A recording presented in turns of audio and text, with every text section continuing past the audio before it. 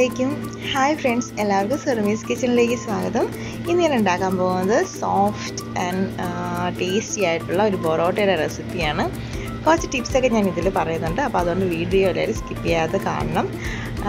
അപ്പോൾ നമുക്ക് വീഡിയോയിലേക്ക് പോകുന്നതിന് മുമ്പേ നിങ്ങൾ എന്റെ ചാനൽ സബ്സ്ക്രൈബ് ചെയ്യാതാണ് കാണുന്നുണ്ടെങ്കിൽ ഇതാ ഈ റെഡ് കളറിൽ കാണുന്ന ആ സബ്സ്ക്രൈബ് ബട്ടൺ പ്രസ് ചെയ്യണം. അതിന്റെ തൊട്ടടുത്ത് തന്നെ ഒരു ബെല്ലൈക്കൺ കാണും. അത് പ്രസ് ചെയ്യുക. അതിൽ ഓൾ എന്നൊരു ഓപ്ഷൻ കാണും.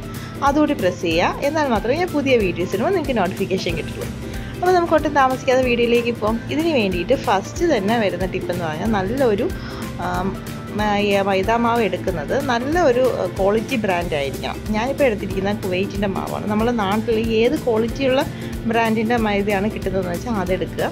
നല്ല മാവ് തന്നെ യൂസ് ചെയ്താൽ നല്ലൊരു പൊറോട്ട നമുക്ക് ഉണ്ടാക്കിയെടുക്കാൻ പറ്റുള്ളൂ. പിന്നെ ഒരു മുട്ട വേണം. ആവശ്യത്തിനുള്ള കുറച്ച് ഓയിൽ വേണം. പിന്നെ കുറച്ച് പഞ്ചസാര ഉപ്പ്. ഇത്ര സാധനങ്ങളാണ് വേണ്ടത്.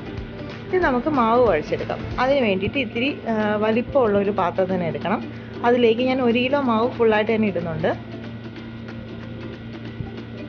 എന്നിട്ട് നടുക്ക് നമുക്കൊരു സെന്ററിലായിട്ടൊരു കുഴി ഇങ്ങനെ ഉണ്ടാക്കാം. എന്നിട്ട് അതിലേക്ക് നമുക്ക് മുട്ട ഉപ്പ് പഞ്ചസാര എല്ലാം കൂടിയിട്ട് നന്നായിട്ടൊന്ന് മിക്സ് ചെയ്തെടുക്കാം.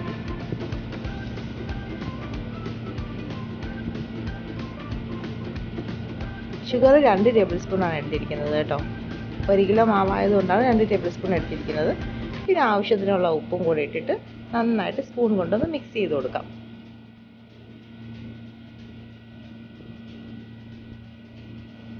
മിക്സ് ആയതിനു ശേഷം നമ്മളുടെ അടുത്ത ടിപ്പ് എന്ന് പറഞ്ഞാൽ യോഗർട്ട് ചേർക്കുന്നതാണ്. യോഗർട്ട് ചേർത്ത് കഴിഞ്ഞാൽ നമ്മളുടെ പൊറോട്ട നല്ല സോഫ്റ്റ് ആയിട്ടിരിക്കും. അതിന് വേണ്ടിയിട്ടാണ് യോഗർട്ട് ചേർക്കുന്നത്. ഒരു ടേബിൾ സ്പൂൺ മാത്രം ചേർത്താൽ മതി.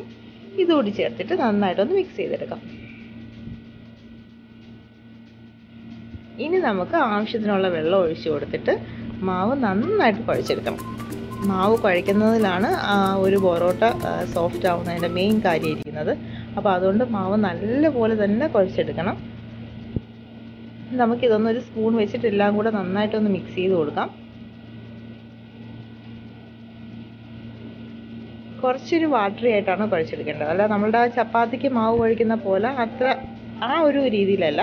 കുറച്ചൊന്ന് കയ്യിലേക്ക് ഒന്ന് സ്റ്റിക്ക് ആവണ ആ ഒരു രീതിയിലാണ് മാവ് കുഴച്ചെടുക്കേണ്ടത് നന്നായിട്ട് തന്നെ അത് ഇങ്ങനെ കൈ കൊണ്ട് ഇങ്ങനെ അമർത്തിയിട്ട് നന്നായിട്ട് നല്ല രീതിയിൽ കുഴച്ചെടുക്കണം.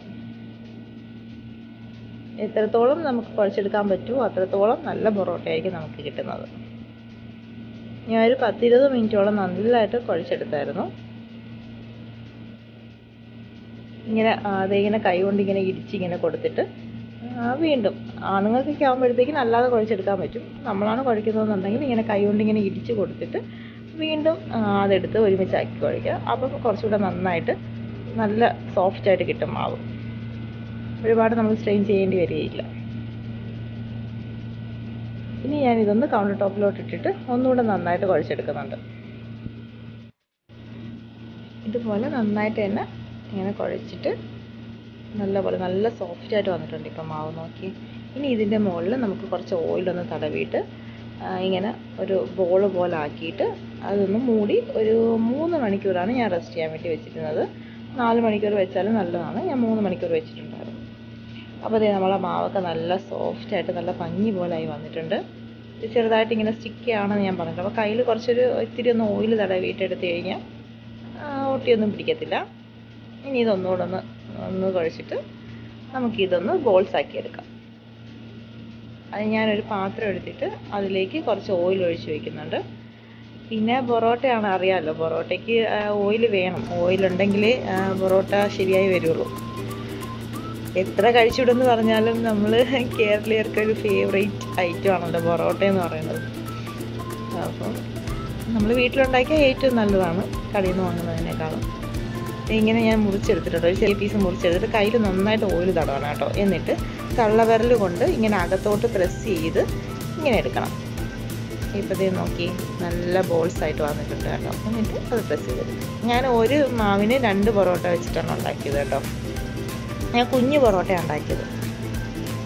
ഇങ്ങനെ നമുക്ക് വേഗം തന്നെ ബോൾസ് ആക്കി എടുക്കാം. ഇങ്ങനെ എടുക്കാൻ പറ്റുന്നില്ല എന്നുണ്ടെങ്കിൽ നിങ്ങൾ അല്ലാതെ മാവ് ചപ്പാത്തിക്കൊക്കെ മാവ് ഉരുട്ടുന്ന പോലെ അങ്ങനെ ഉരുട്ടിയെടുത്താലും മതി. ഇതിപ്പോൾ ഞാൻ എല്ലാം ബോൾസ് ആക്കി എടുത്തിട്ടുണ്ട്. എനിക്കൊരു പതിനഞ്ചെണ്ണം കിട്ടിയായിരുന്നു ഈ ഒരു അളവിന്.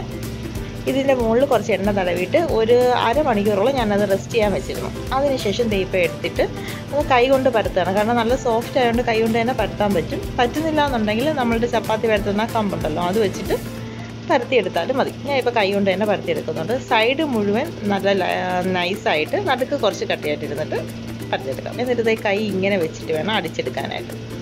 എന്നിട്ട് ഞാൻ വീശി അടിക്കുകയാണ്. ഇങ്ങനെയാണ് അടിച്ചെടുക്കാനുള്ളത്. കൈ ഇങ്ങനെ അകത്തോട്ട് കയറ്റിയിട്ട് ഇങ്ങനെ വലിച്ച് വലിച്ച് അടിച്ചു കൊടുക്കണം. ഇത് അടിച്ചെടുത്തിട്ടുണ്ട്.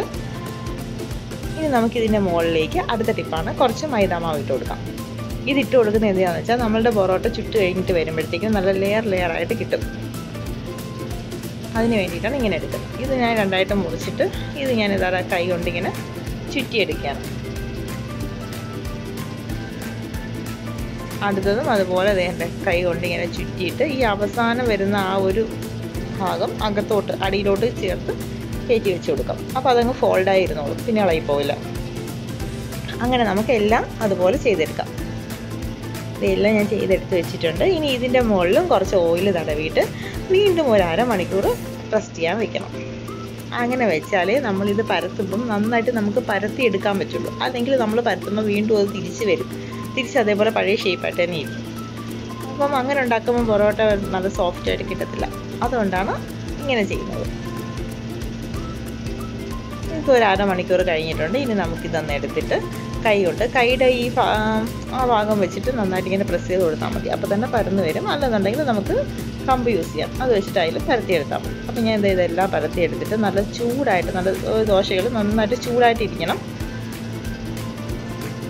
എന്നിട്ട് അതിലേക്ക് കുറച്ച് ഓയിൽ ഒഴിച്ചിട്ട് വേണം നമുക്ക് ഈ പൊറോട്ട ഇട്ട് കൊടുക്കാനായിട്ട്.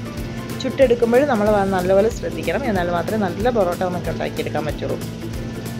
പിന്നെ മുകളിൽ ഓയിൽ ഒഴിച്ചിട്ട് അതിന്റെ മുകളിലേക്ക് ഓരോരോ പൊറോട്ട പരത്തിയത് നമുക്ക് ഇട്ട് കൊടുക്കാം.